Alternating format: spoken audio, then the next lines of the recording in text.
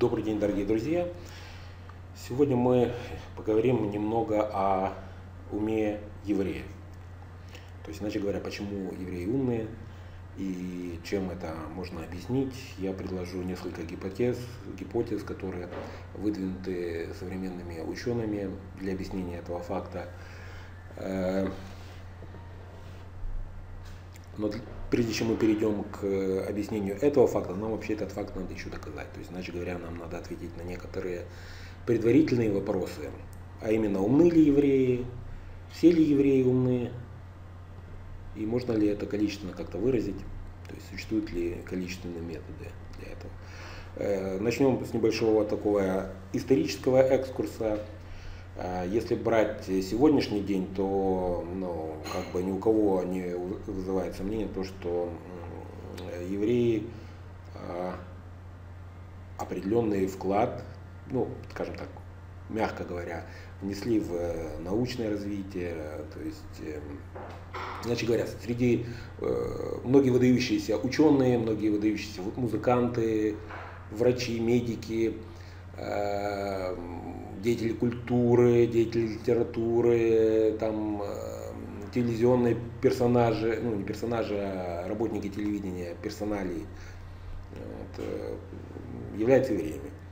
Э, там, и как бы это особо никого не уделяет сейчас, но это было не всегда. То есть если брать на начало 19 века, ничего такого не было. То есть до 19 века евреи жили обособленно от остального населения тех стран, в которых они проживали, э, причем резко обособленно. Э, то есть они говорили на другом языке, они говорили на идиш. Это для евреев, которые проживали в Германии и в, затем переселились, значительная часть из них, в Речь Посполитую. Это мы говорим средневековая Европа и Европа времен э, начала ну, современные времена, ну, начало современных времен, то есть 16, 17, 18 век. Эм, они проживали обособленно в своих э, таких вот сообществах, гетто, можно их назвать. Эм, они почти не выходили за пределы его. Ну, то есть незначительное количество евреев выходило за пределы гетто, и они не могли заниматься профессиями теми, которыми занималось местное население.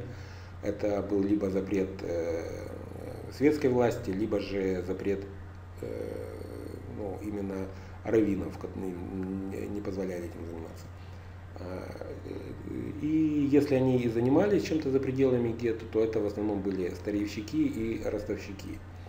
Ростовщики из-за того, в основном, что христиане, у хри, христианстве есть запрет на то, чтобы давать э, кому-то в долг и получать за это процент. То есть э, на судный процент э, запрет существует в христианской религии. Во всяком случае, существовал ранее. И это был серьезный запрет, но так как э, такая, такого рода услуга была востребована, то христиане находили способы обойти. То есть они тогда не сами сужали, а нанимали как бы, вот многие аристократы нанимали э, евреев для того, чтобы те вели их финансовые дела. И как бы это вроде бы не я даю, а вот, ну, вот мой еврей-финансист дает в, в, в рост деньги. Эм, ну и другие были способы обхода, например, э, для христиан. Э, например, ты взял у кого-то в долг 100 талеров, с тем условием, что ты ему тоже отдашь 100 талеров без процента. Но там оговаривалось такое условие, что, например, если ты там вдруг задержишь там, я не знаю, на час или там на день, э, то тогда у тебя э, ты должен уплатить штраф в размере, скажем, 5 талеров, то есть 5% от суммы, грубо говоря. И понятно, что по обоюдному согласию ты задерживал и отдавал с э, учетом этого штрафа не 100 талеров, а 105 талеров – фактически ты отдавал с процентами эту сумму. Но оно, ну, в данном случае это был уже как бы формально не процент, а штраф. Ну, на самом деле это, это был процент, так как это все по обоюдному согласию сторон происходило. Вот. Э, потом произошло событие такое, как Великая Французская революция, наполеоновские войны. И в результате всего этого произошла так называемая эмансипация евреев. То есть э, им, они перестали жить именно в гетто, в большинстве своем. То есть это где-то а, а, где-то сохранились такие, вот, например, в России была такая вещь, как черта оседлости, то есть там, где, э, ну, ну они не в гетто жили, но они только могли жить, э, в сельской местности нельзя было, там в местечках, то есть в маленьких городках они могли жить, то есть определенный определенные профессии они не могли ими заниматься, ну и так далее. То есть э, не везде было. Но на территории Европы остальное, в принципе, произошла так называемая эмансипация евреев. И она произошла двояко. Во-первых, светские власти перестали запрещать э, евреям э, проживание и получение профессий, проживание за пределами гетто и получение профессий. И, во-вторых, светские власти перестали сотрудничать с раввинами, потому что частично вот такая обособленность э, обуславливалась э, диктатурой раввинов. То есть, иначе говоря, те, кто существовала договоренность в определенных э, местностях между раввинами и светскими властями на то, что светские власти в обмен на определенные услуги, которые члены еврейской общины оказывали для светских властей, то они договаривались, что они будут отлавливать всех евреев, которые не подчиняются законам, так скажем, э, которые устанавливают раввины, передавать их раввинам на суд. И, и так как э, пользовались гетто автономией, то есть э, судили их уже внутри гетто по еврейским законам и судили их там достаточно сурово за это. То есть, когда вот э, перестали светские власти, с одной стороны, э, запрещать селиться евреям там где-то за пределами гетто, и с другой стороны, э, делать, э, ловить евреев, которые, которых раввины считали там отступниками и так далее, э, и передавать их раввинам для суда, то, в общем, все это начало как бы разваливаться, вот, вот такая вот обособленность евреев. И евреи начали смешиваться с э, населением стран, где они проживали. А, и это уже произошло конец 18 э, начало 19 века, и начали появляться э, достаточно, э, ну, в общем, народы, среди которых евреи жили, начали понимать и осознавать то, что евреи обладают достаточно недюжинным интеллектом.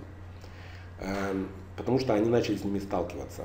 Э, если до этого, можно сказать, что, грубо говоря, до 19 века а, единственным э, таким деятелем общеевропейского масштаба, а, известным и так далее, а, который был евреем, можно назвать Сенеку, то, да, то уже после, начиная с 19 века, с начала 19 века, уже начинают появляться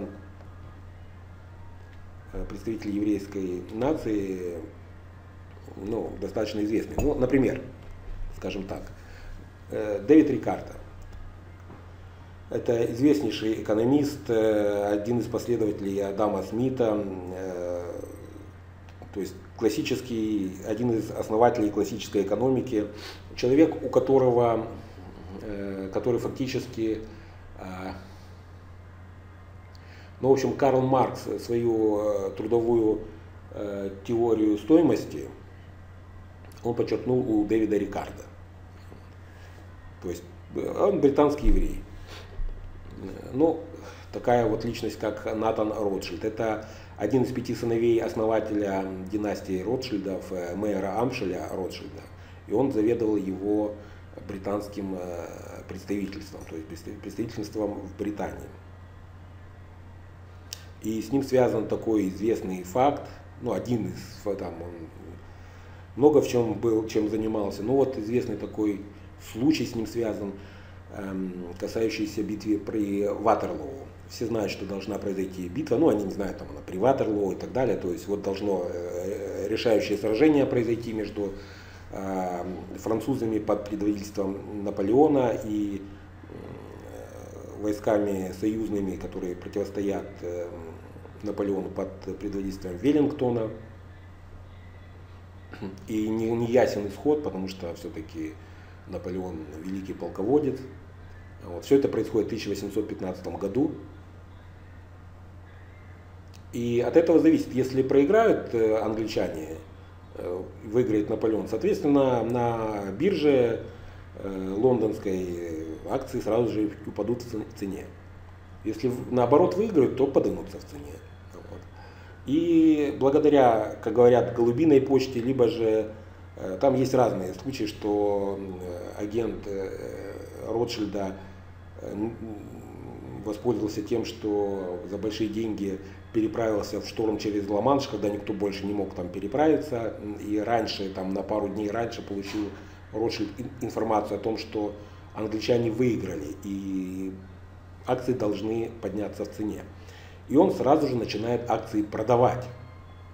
И все, видя, что он продает, понимают, что у него есть информация. И, скорее всего, так как он продает, они начинают думать, боже мой, мы проиграли, Наполеон выиграл, надо продавать акции. И все тоже начинают вслед за ним продавать эти акции. Акции мгновенно обваливаются, цена акций, в общем, падает очень низко. И когда, по его мнению, она уже достигла самого дна, Натан Ротшильд начинает выкупать акции, скупает по самой низкой цене их.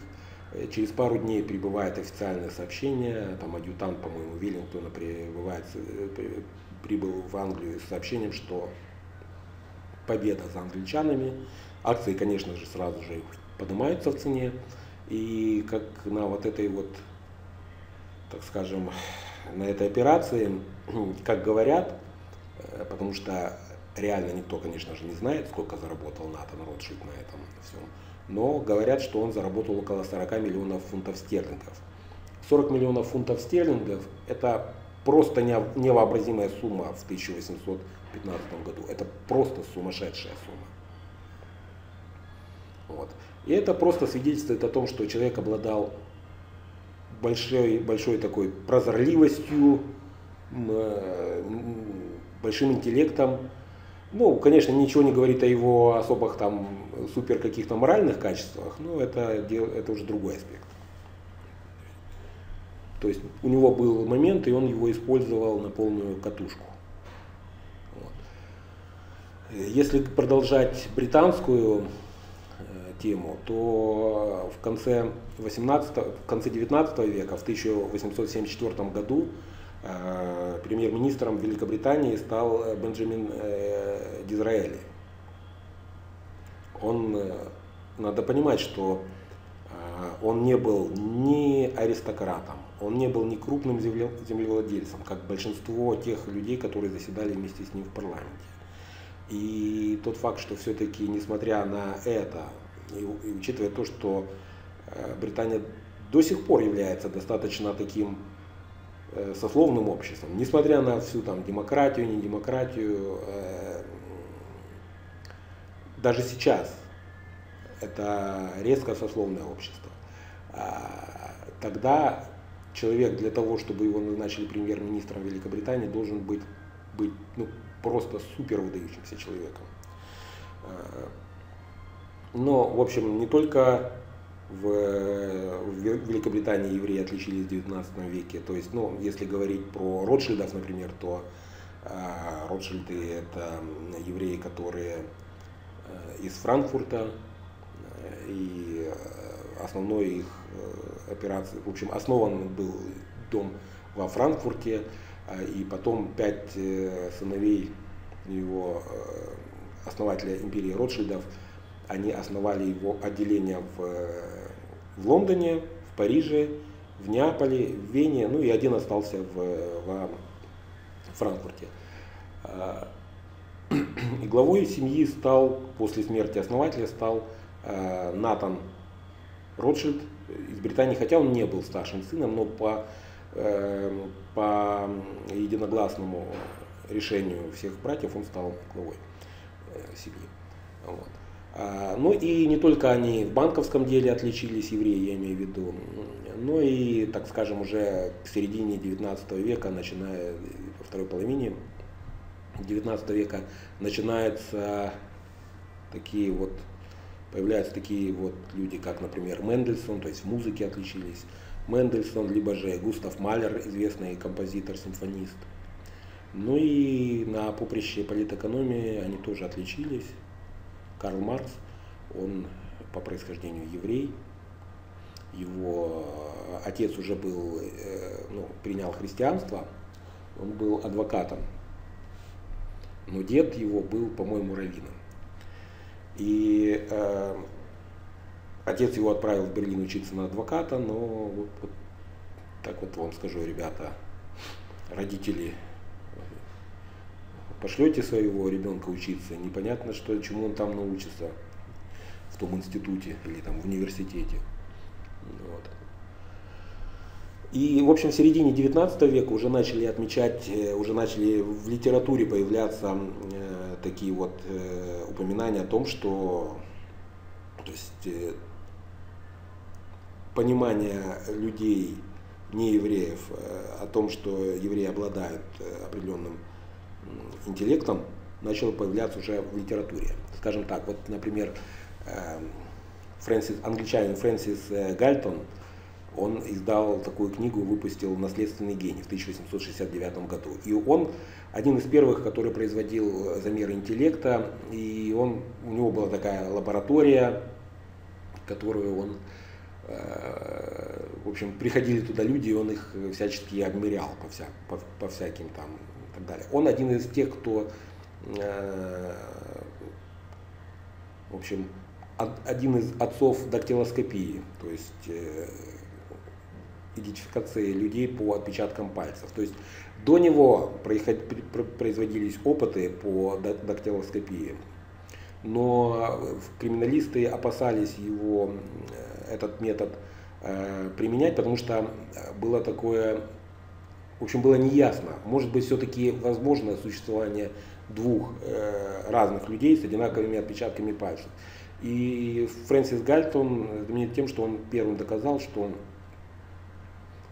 невозможно существование двух одинаковых э, наборов отпечатков пальцев у разных людей. Вот. Он, э, когда замерял интеллект, то он отметил высокий интеллект э, евреев и китайцев.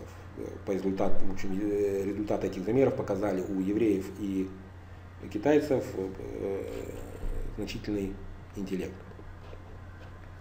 Был также француз Артюр Гобино, который выпустил четырехтомник эссе о неравенстве человеческих рас. Э, и он там несколько лет подряд на него тома последовательно выходили с 53 с 1853 по 1855 год, и он там написал, э,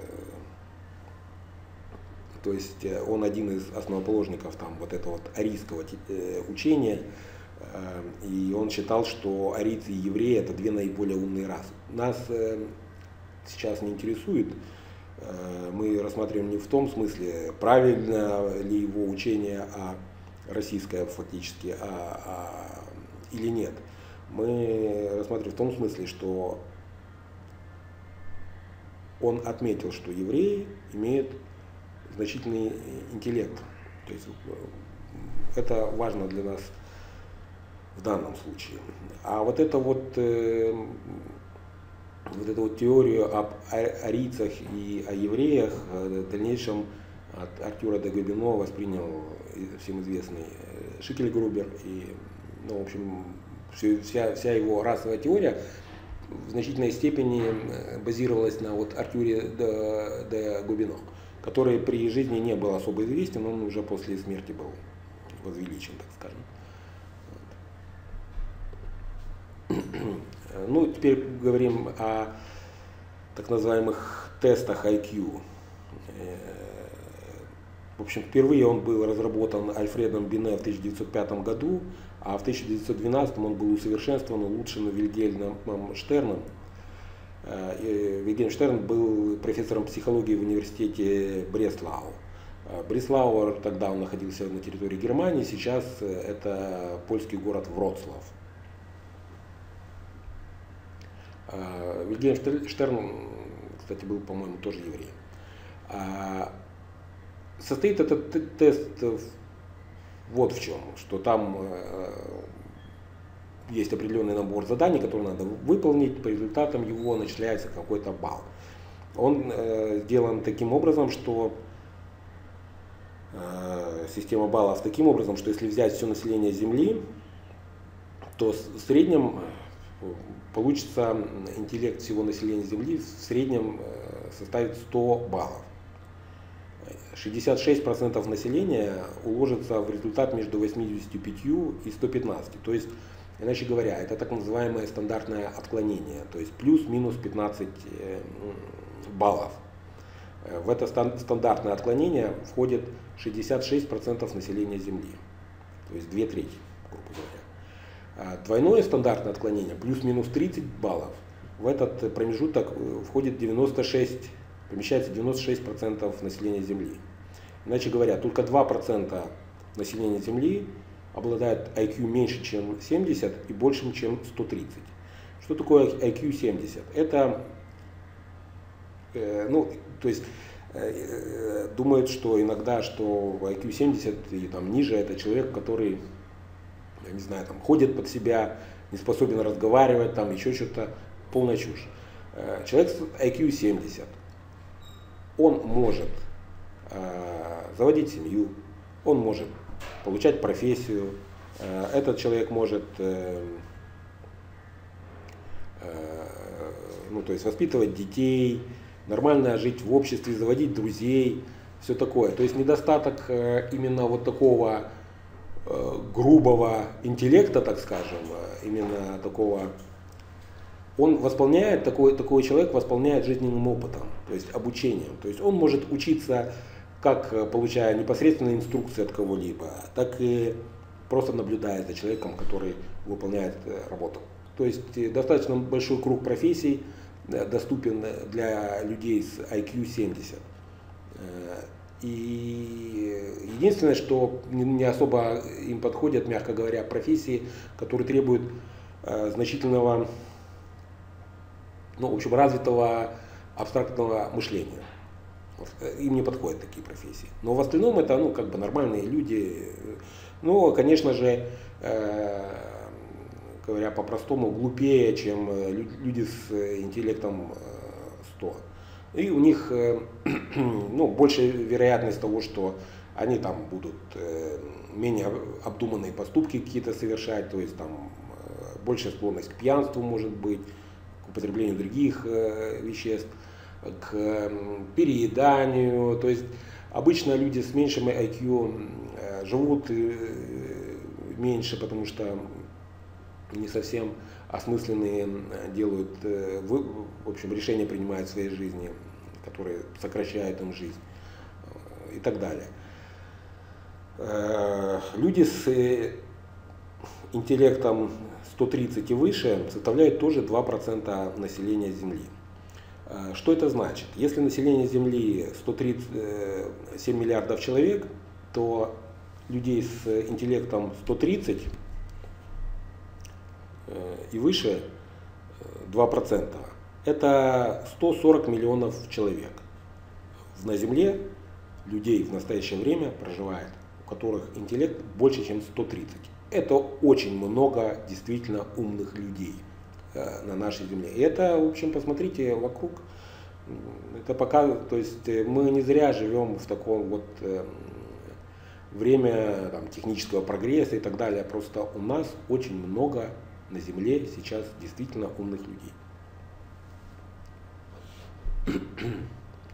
Теперь мы можем поговорить о IQ евреев, различных групп, потому что евреи это неоднородная Э, какая-то масса, есть э, различные э, субэтносы в, среди евреев.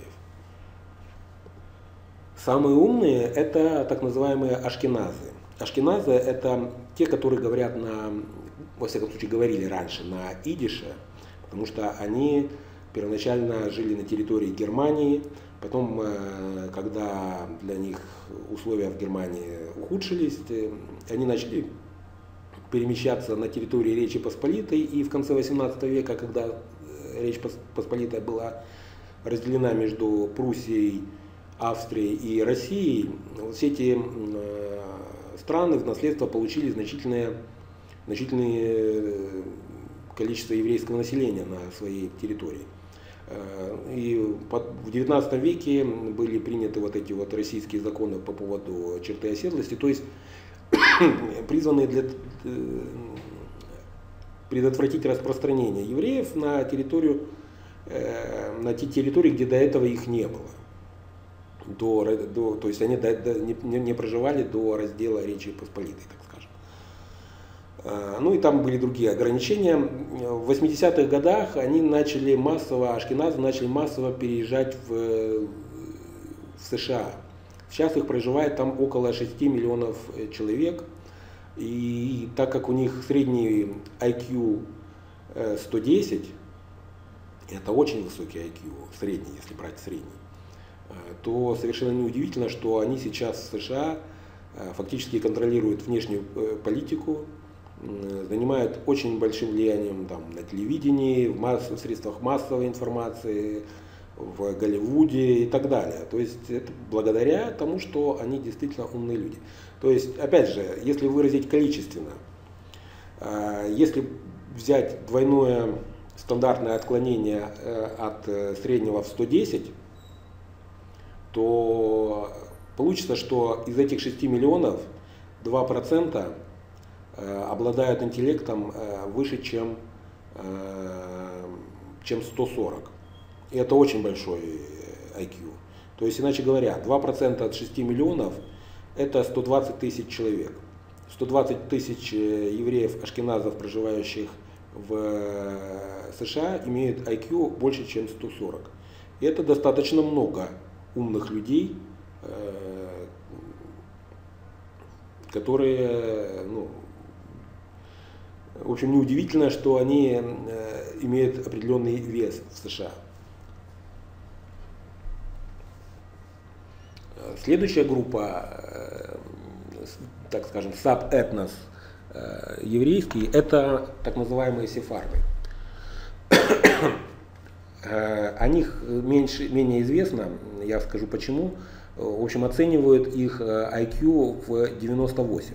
Они проживали на территории Испании до 1492 года. Дело в том, что в Испании в течение, грубо говоря, 700 или там 800 лет шла так называемая реконкиста. И на территории Испании все эти 800 лет проживали как э, католики, христиане, так и евреи, так и мусульмане.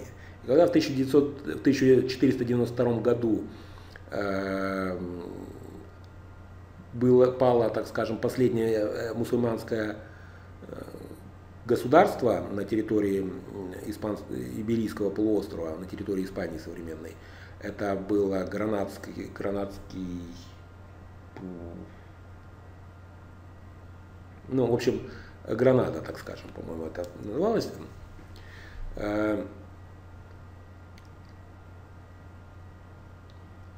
Правители, король и королева Испании, то есть э, Фердинанд и Изабелла, они сказали, что э, мы отказываемся от э, тройной религии, которая вот у нас действовала на территории Испании до этого, и мы становимся чисто католическим государством. Поэтому либо принимаете католичество, либо убираетесь вон. Вот. То есть это касалось всех, как мусульман, так и евреев, иудеев. И поэтому многие покинули, не желая принимать католичество, многие евреи покинули Испанию. Часть из них осталась. Э, это так называемые были, э, по-моему, их назвали мараны. То есть это евреи, которые приняли христианство внешнее, но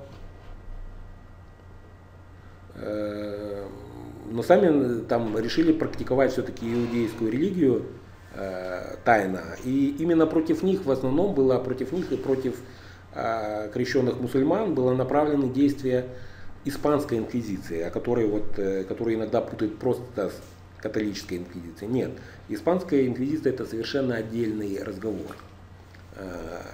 Вот ну, их там жгли на кострах и так далее. Это были в основном э, евреи, которые приняли христианство, но на самом деле продолжали исповедовать иудаизм.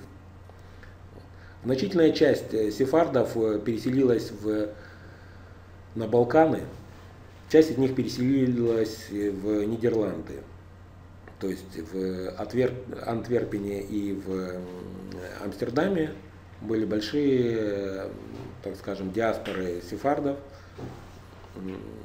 но значительно подавляющее большинство переселилось э, э, на Балканы, э, Грецию, Болгарию, и значительная часть из них, большинство из них погибло во время Второй мировой войны. То есть сейчас сефардов, насколько я знаю, почти не осталось. Те, которые выжили, переселились, сейчас проживают в Израиле, переселились в Израиль. Третья группа это так называемый Мизрахим. Это те евреи, которые э, проживали на территории Ирана, Ирака, Марокко, на территории Палестины до образования еврейского государства тоже проживало некоторое количество э, евреев. Э, то есть еще со времен, ну то есть не все евреи оттуда ушли после разрушения Иерусалима римлянами. Э, они, то есть оценивается их IQ в 91, они после образования государства Израиль, так как э, резко, э, на резко враждебное сменилось отношение к ним среди мусульманского населения, среди которого они проживали до этого достаточно спокойно, они были вынуждены все переселиться в, на территорию Израиля. И есть еще такой вот спорный, э, ну как спорный, они э, так называемые эфиопские евреи, ну то есть они иудеи, но они генетически никак не связаны с э, остальными еврейскими субэтносами, то есть они связаны только религиозно с ними, то есть, потому что они исповедуют религию. А, у них IQ 69 и примерно так же, такой же, как и у окружающих их африканских народов, которые населяют э, Африку южнее, чем пустыня э, Сахара. Теперь сравниваем с другими народами. То есть ашкеназы IQ 110, и на данный момент вот эта группа является самой умной группой э, на Земле. После них идут Северо-Восточная Азия. Это Китай, Япония, Корея. Средний IQ 105. Дальше идут Северная и Центральная Европа. IQ 100. После этого идут э, Южная Европа. Это Греция, Сицилия, Андалузия, Калабрия. IQ 92. Потом идут э, субэтнос э, израильский Мизрахим 91 Чернокожие США средний IQ имеют э, порядка 85. Э, арабы из Северной Африки средний IQ 84. Южная Азия, то есть это Вьетнам, э, Камбоджа, Бирма и так далее, 84. Чернокожие, которые проживают на Карибах, IQ 72. Чернокожие, проживающие в Африке, средний IQ 70 аборигены Австралии, средний IQ 62, и наименьшим IQ обладают пигмеи э, тропической Африки, тропических лесов э, Конго, IQ 53. Э, если же говорить о структуре интеллекта евреев, то э, тут можно, нужно отметить такую особенность, что очень э, сильны э, евреев качестве вот в вербальном отношении. То есть то, что касается разговор, разговорной речи, подвешенного языка и логическая аргументация, то есть э, способность отстоять свою позицию э, аргументированно. Вот, то, есть, э, то есть если брать опять же 100 средний показатель, то в этом смысле у них э, показатель порядка 115. Э, гораздо хуже, ну, сравнительно хуже, то есть на среднем уровне находится интеллект, э, касающийся визуальных пространственных каких-то вот э, маш... визуально-пространственного мышления. То есть способность, например, взять какую-то головоломку деревянную и понять, каким образом ее надо сложить для того, чтобы она, ну, все, все части стали на место. То есть в этом, то есть обычный средний уровень. Поэтому это все отражается на, на тех э, отраслях, где э, преимущественно представлены евреи. То есть там, где нужна логическая аргументация и хорошие вербальные способности, то есть это наука, э, логическая аргументация, это литература, это юриспруденция, то есть там, где надо э, свою точку зрения представить наиболее логичным и убедительным образом, они очень хорошо представлены. Э, опять же, если брать, например, скажем так, Э, очень много комедийных актеров, э, актеров вообще, но в основном, ну, в первую очередь комедийных актеров, либо же комиков в, в, такой, в таком жанре, как э, стендап, очень много среди них евреев. Потому что это именно то, что у них получается очень хорошо.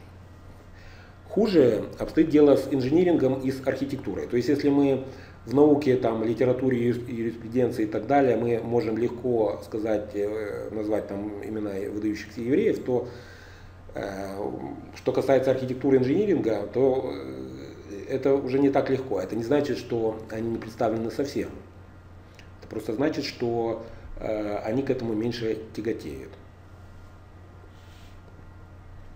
Ну и теперь мы можем уже наконец-то перейти Э, к теориям, э, к гипотезам, э, которые объясняют высокий интеллект, высокий интеллект евреев. Именно, в первую очередь, именно Суватнаса Ашкеназы. Ну, Первая теория – это Евгеника. Евгеника – это улучшение человеческой, так скажем, породы – и звучит она таким образом, эта теория, что э, раввины пользовались очень большим влиянием в еврейском э, обществе до эмансипации.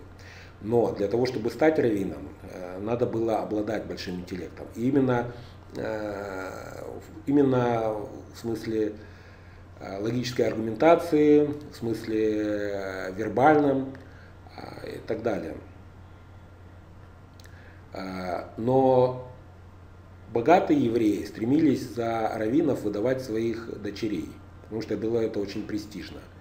И получилось такой вот как бы союз денег и интеллекта. А, и так как, э, иначе говоря, отпрыски раввинов имели наибольшие шансы выжить, потому что они в нормальной э, зажиточной обстановке росли, с хорошим питанием. Эм, именно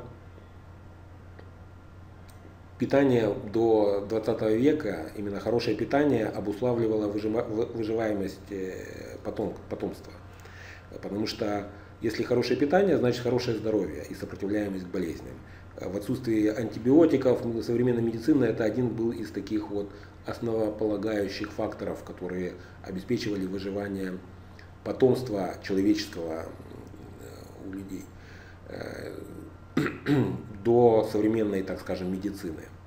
И если это э, пару тысяч, тысячелетий вот такой вот э, практики, когда э, потомки наиболее умных людей в определенной группе имеют наилучшие шансы на выживание, э, соответственно, они э, поднимают уровень IQ Э, во всей группе со временем, так как э, эти потомки дают своих потомков и так далее, эти гены э, распространяются по всей популяции.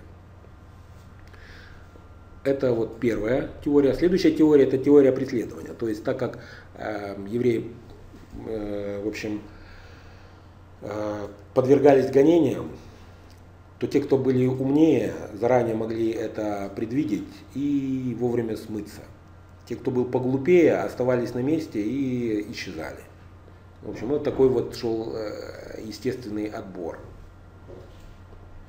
Следующая теория это теория дискриминации. То есть, ну, она частично с, Евгеникой, с евгенической теорией перекликается. То есть теория дискриминации означает тем, что так как они могли определенными профессиями только заниматься, одна из них ростовщичество, то есть, э, то есть те, которые были в этом хороши, в том смысле, что могли оценить нормально, во-первых, э, могли убедить э, клиентов и своих контрагентов на хорошие условия, на выгодные для, для них самих условия, для э, ростовщиков условия, э, правильно оценить э, платежеспособность и все такое прочее. Вот они, получается, процветали, соответственно, могли оставить большое количество э, потомков, ну и, и передать свой интеллект э, большому количеству народа. Дальше это все так же, как и в случае с Евгеникой. То есть, если в первом случае это было связано с раввинами, второе, э, во втором случае это с ростовщиками-банкирами связывается. Третья теория – это так называемое вероотступничество. То есть, э, есть такой ученый Чарльз Мюррей, он предложил эту теорию, Э, он отметил, что, что численность э, еврейского народа с первого века нашей эры по четвертый век, вот за четыре века снизилась, с, э, грубо говоря, с 4 миллионов человек до полутора миллионов человек по оценкам историков. И он это связывает с тем, что, в общем, те мальчики, которые не могли э, как бы э, выучить постулаты еврейской э, веры, они как бы были отринуты от еврейского народа, то есть те, они могли они эм, это все выучить из-за того, что недостаточным интеллектом обладали, вот по его теории. Они были отринуты от еврейского народа и, соответственно, сократился, остались только самые умные, и которые дальше вот передали свой ум, э, свой интеллект последующим поколениям. И последняя теория это в том, что э, появился новый ген, ген интеллекта. И эту теорию выдвинули такие ученые, как Кохран, Харди и Харпингинг. Э, вернее, даже не не новый ген, а один из это мутация одного из существующих генов, которая привела к э, значительному росту интеллекта. И этот ген именно в популяции ашкеназов зародился, а, примерно, по их мнению, где-то в районе 1200 года нашей эры, то есть, грубо говоря, там 800 лет назад, распространился среди э, ашкеназов он, этот ген, и побочным явлением это э, есть определенные генетические заболевания, то есть побочным явлением этого гена. И достаточно известно, что э, ашкеназы обладают большим количеством генетических заболеваний. Э, ну, одно из таких, вот, которые ассоциируются с большим интеллектом генетическое заболевание, то есть э, коррелируется с интеллектом, это э, болезнь Гоше. Ну, если немножко поговорить об этих теориях, то до тех пор, пока не представят этот новый ген, то как бы, ну, это просто теория, ничем не доказанная. Она была выдвинута 10 лет назад, пока этот ген не нашли, в общем, э, ну, то есть ее как бы нельзя на, самом, на данный момент э, рассматривать. Если говорить про вероотступничество, ну да, было сокращение популяции, но оно могло быть вызвано тем, что э, общим упадком. Дело в том, что евреи жили на территории Римской империи, которая постепенно приходила в упадок. И, в общем, скажем, если так, скажем, если в на момент, скажем, в пятом году до нашей эры население Рима составляло по разным оценкам примерно около миллиона человек, то в 800 году нашей эры, когда Карл Великий там был коронован э, первым императором Священной Римской империи, а, население Рима составляло 30 тысяч человек всего лишь. То есть э, какая вот огромная была депопуляция. То есть, э, иначе говоря, четвертая и пятая теории такие, шаткие достаточно. В основном